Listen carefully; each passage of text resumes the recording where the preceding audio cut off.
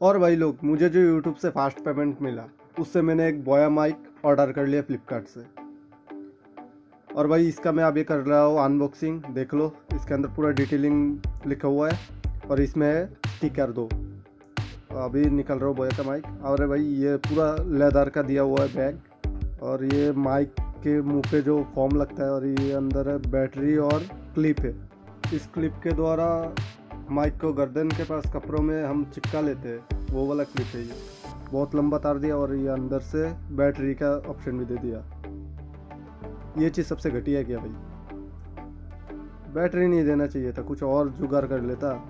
Charging वाला option दे देता। ये दो स्विच है, एक फ़ोन के लिए और एक कैमरा के लिए।